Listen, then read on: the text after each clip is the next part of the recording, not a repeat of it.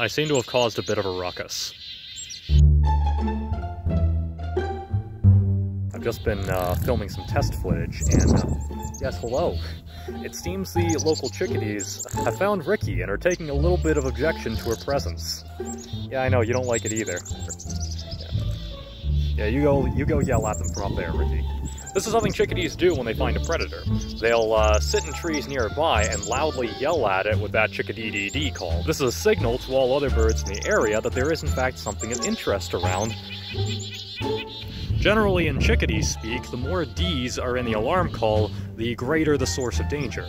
In this case, a small predator like Rickie uh, represents quite the existential threat.